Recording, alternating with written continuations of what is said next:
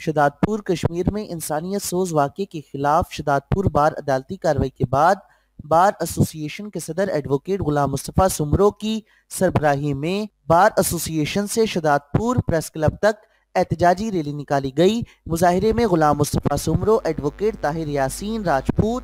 advocate Pir Kamiullah Qureshi, advocate Agha Iftar advocate Moin Bhatti और दूसरों ने खिताब करते हुए कहा कि इंसानियत का एक तकलीफ़ दे वाक़ है, जिसके लिए मुलविस सफाखाना सिर्फ़ वाले लोगों को सजा दी जाए, ऐसे वाकियात होते हैं और हुकूमत को ऐसे वाकियात के बाद कानून में तरमीम करनी चाहिए। कैमरा टीम के साथ Mohammad Rizwan H N N news, Shahdadpur.